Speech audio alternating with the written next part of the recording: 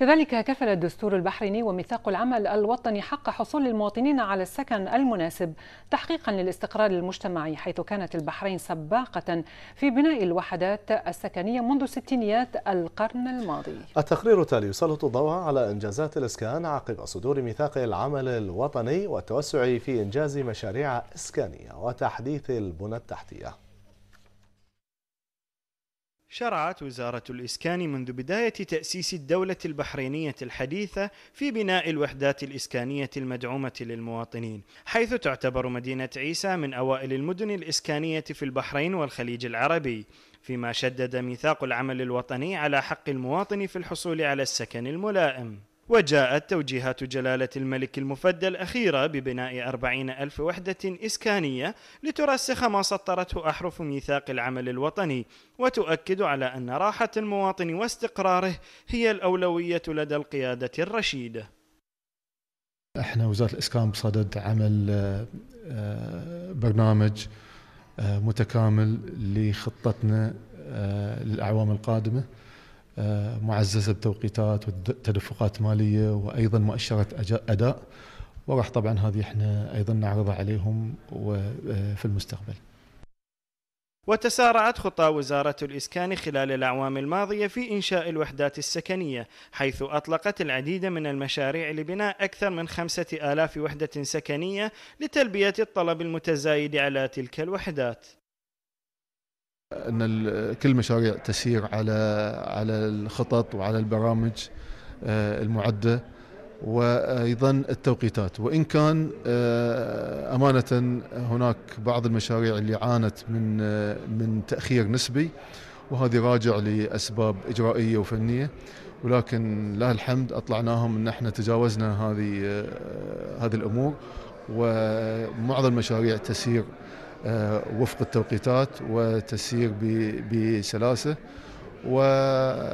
والدليل والشواهد كثيره على ذلك.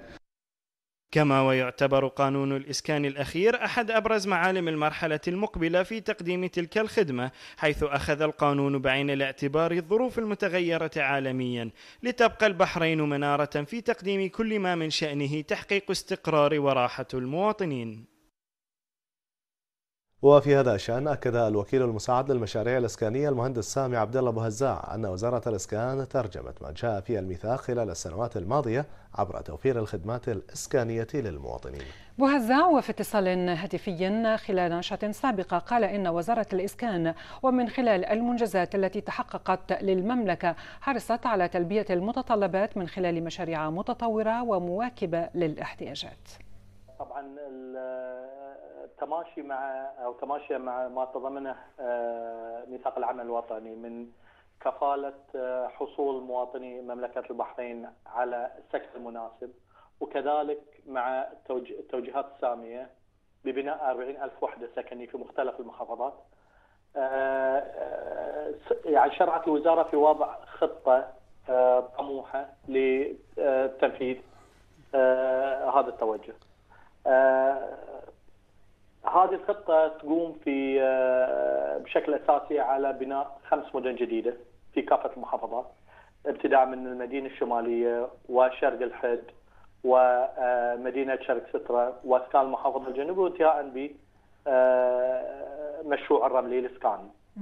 طبعا إضافة إلى هذا هذه المشاريع أو مشاريع المدن الإسكانية الجديدة آه، بتواصل الوزارة في آه، خطة بناء المجمعات السكنية في كافة المحافظات وكذلك في آه، بناء امتدادات للقرى آه، كذلك في كافة المحافظات.